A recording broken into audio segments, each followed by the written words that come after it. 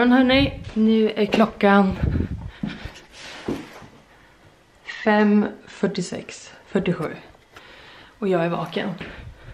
Vi är på väg till eh, Arlanda och så ska vi flyga till Ruka. Och, ja, och ni får hänga med idag.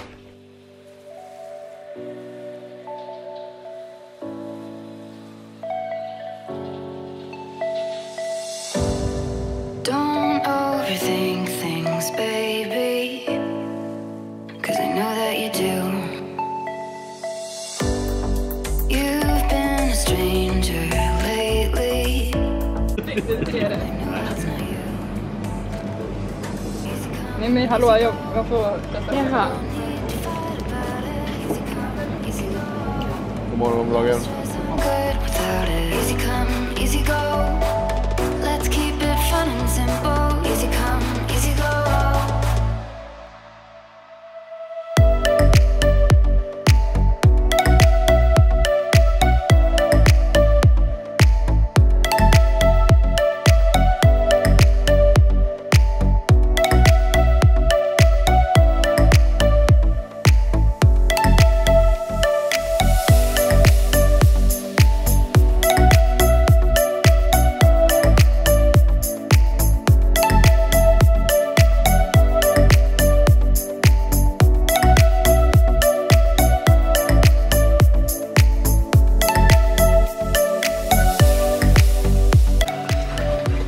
Välkomna ombord. Mina damer och herrar, hjärtligt välkomna till RC. Tack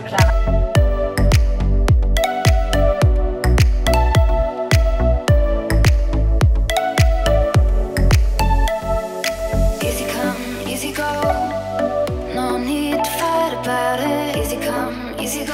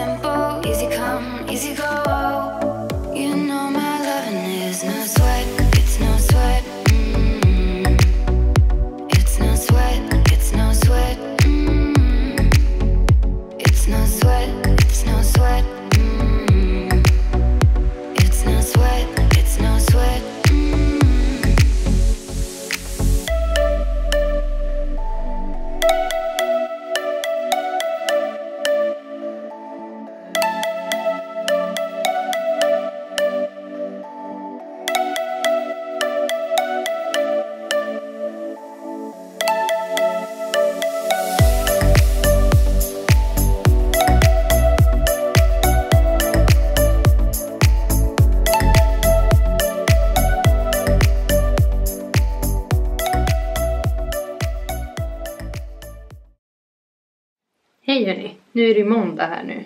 Eh, alltså måndagen efter tävlingarna. Och jag spelar in det här eh, eh, för att eh, prata om tävlingarna. Jag gjorde inte det riktigt någon gång i, eh, i Finland. Så jag tänkte att jag gör det nu, lite så här i efterhand. Men eh, det var en väldigt kul helg i Ruka.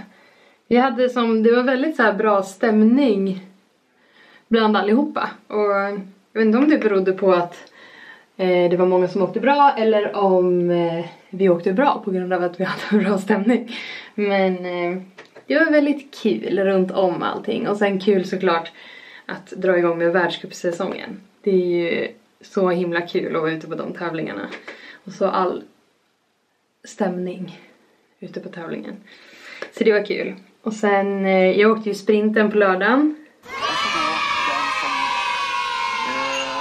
Jag hade faktiskt lite så här. Um, känner mig inte så här superpigg men uh, ändå helt okej okay. och jag är väldigt nöjd med um, resultatet. Alltså resultatmässigt gick det ju jättebra. Jag trodde absolut inte med den känslan jag hade till exempel dagen innan loppet eller typ på uppvärmningen att det skulle gå så bra. Så jag var faktiskt lite eh, inte orolig, det brukar jag inte bli men alltså så här, ni vet att man känner så här, ja, ah, vi får se hur det här går. Det blir som det blir typ. Eh, men det det gick ändå bra och jag hade kul så det var bra. Och så tyckte jag, jag pratade ju om eh, min hatbacke där.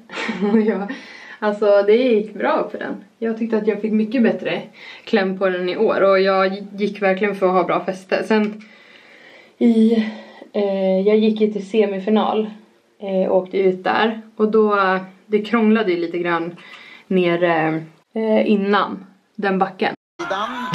Dahlqvist som är där först. Jag kom ju som med lite högre fart bakifrån och sen så fanns det som ingen plats riktigt att gå om. Eller jag hade ju kunnat bromsat men det tänker man inte riktigt på när man kör. Utan eh, då skulle jag försöka gå om men så kom jag inte riktigt om och så kom det weboards och det stod lite ledare i vägen så att jag eh, bara hoppade in i spåret och eh, liksom åkte på en annan tjejs skidor. Så jag fick ju gult kort också. Väldigt härligt. Jag brukar ju dra på mig något varje år. Inte så att det har jag inte gjort det någon gång förut. Eh, men så är det. Det är lite pinsamt men eh, det blir ju, alltså sådär i stridens hetta så blir det ju ganska ofta att man jag vet inte, man tänker ju inte riktigt klart. Eller det enda som finns i ens hjärna är ju typ bara framåt och sen är man trött och så ja, så det blir lite fel ibland. Men eh, så kan det väl vara.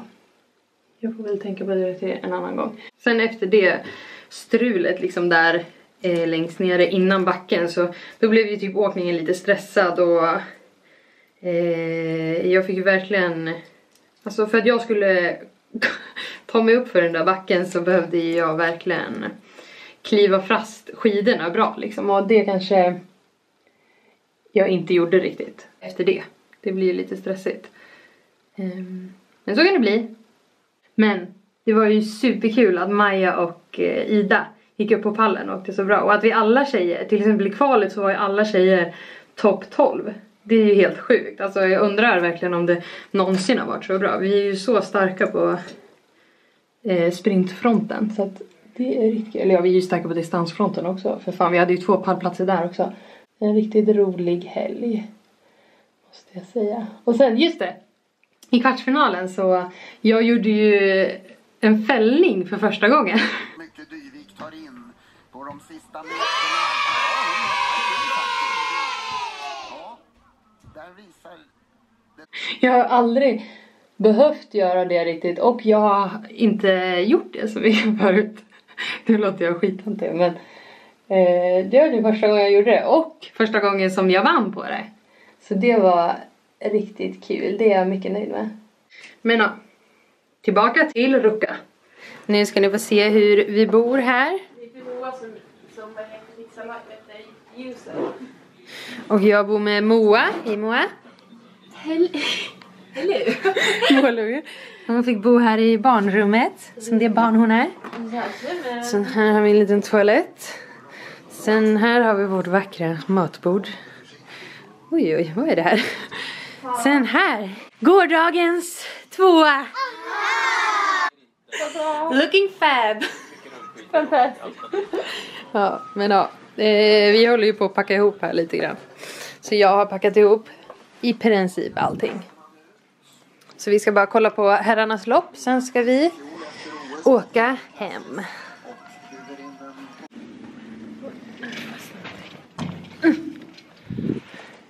Nu är det dags att åka hem. Oh my god! Hur går det Majsa?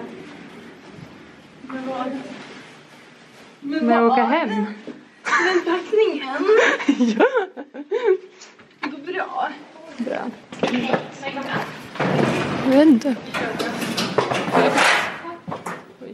Ska ni?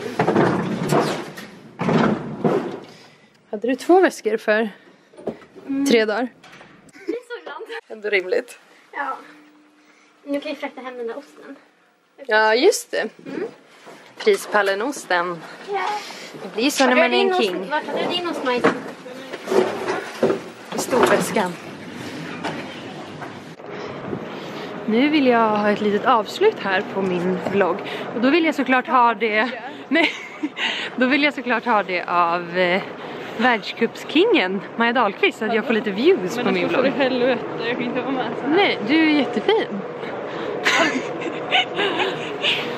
Ja. Här är hon. Här är hon. Hur kändes det att gå upp på prispallen? Jättekul.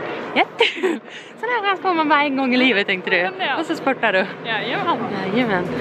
Ja, men nu får du avsluta. Säg de magiska orden. Tjabla. Tjabla! Glöm inte att prenumerera. Och trycka här. Och här och här. Gilla, prenumerera och kommentera.